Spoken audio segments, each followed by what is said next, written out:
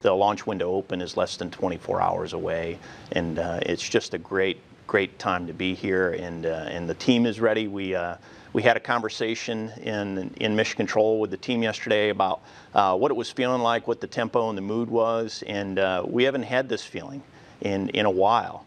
Uh, since uh, the end of the shuttle program. Uh, while the feeling is familiar and the anticipation of, of uh, day of flight is familiar. It's it's a new mission, and, and there are some things that I'm sure we're going to learn tomorrow uh, from this from this unmanned flight test that'll enable us to fly uh, humans into deep space. The team in mission control is ready.